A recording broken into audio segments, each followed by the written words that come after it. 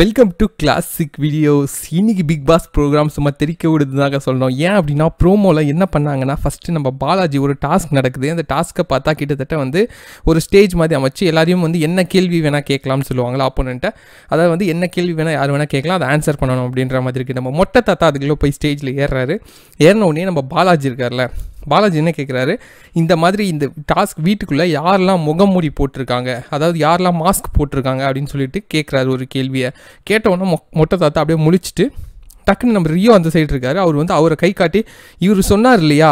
இவர் வந்து முகம் ஒரு முகம் இருக்குது இன்னொரு முகத்தை மறைக்கிறேன் அப்படின்ற மாதிரி சொல்ல வர்றாரு. சொல்ல வர்றதுக்குள்ளேயே ரியோ பத்து செம்மையாக டென்ஷன் ஆயிடுறாரு. அவர் வந்து சொன்னதை பார்த்தா வந்து ரியோ கொஞ்சம் நேரத்துக்கு முன்னாடி பேசினதில் வந்து என்ன சொல்லியிருப்பார்னா நான் ஒரு முகம் தான் இருக்குது அதை நான் காட்டிகிட்டு இருக்கேன் இன்னொரு முகத்தை நான் மறைக்கணும்னு ஆசைப்படுறேன் அப்படின்ற மாதிரி நார்மலாக பேசியிருப்பாருன்னு நினைக்கிறேன். அதை அவர் பாயிண்ட் அவுட் பண்ணிட்டு திருப்பி வந்து மொட்டை தாத்தா ஏதோ சொல்ல வந்திருக்காரு. சொன்னோன்னு ரியோ செம கோவம் கோவம் வந்துச்சு சார் இங்கே இருக்க யாரை வேணால் சொல்லுங்கள் என்ன சொல்லாதீங்க. அவன் கேட்ட கேள்விக்கு என்ன எக்ஸாம்பிளாக சொல்லவே கூடாது நீங்கள் அப்படின்ற மாதிரி செம கோவமாக கை நீட்டி ஒத்த விரல காட்டி பேசுவாங்களா அந்த மாதிரி ரெண்டு மூணு வாட்டி கை நீட்டி நீட்டி பேசுகிறாரு செம கோவம் தெரியுது அவர் மூஞ்சில். சொல்லும் போதே வந்து யாரை வேணால் இவர் சொல்லணும்டா என்ன இதுக்கு சொல்லணும் அவசியமே இல்லடா தம்பி அப்படின்னு சொல்லிட்டு பக்கத்தில் இருக்க யாரையோ பற்றி சொல்கிறாரு சொன்னதுக்கப்புறம் மொட்டை தாத்தா டென்ஷன் ஆகி நிற்கிறாரு அப்படியே ப்ரோமோ ஜாக்குன்னு முடிச்சிடுறாங்க. ஓகேவா என்ன நடக்க போகுதுன்னு தெரிஞ்சிச்சு. ரியோ இந்த வாரம் பற்ற வச்சிட்டாங்க அப்படின்றது மட்டும் தெரியுது. அது எப்படி பிக் பாஸ் கரெக்டாக ஒவ்வொருத்தராக லைனாக பற்ற வச்சுட்டே வரீங்க.